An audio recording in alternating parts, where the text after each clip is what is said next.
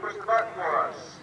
And this thing is going to deploy its main in Apogee, which is predicted for 6,400 feet. So,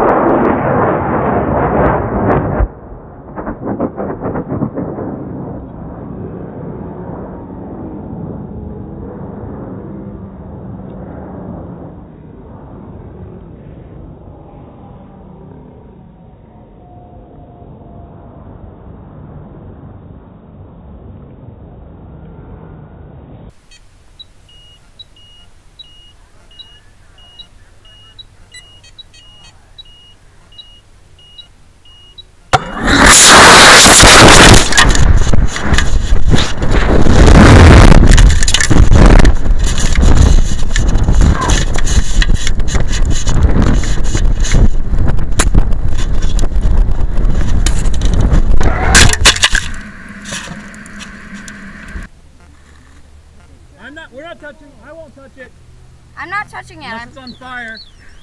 wow. Is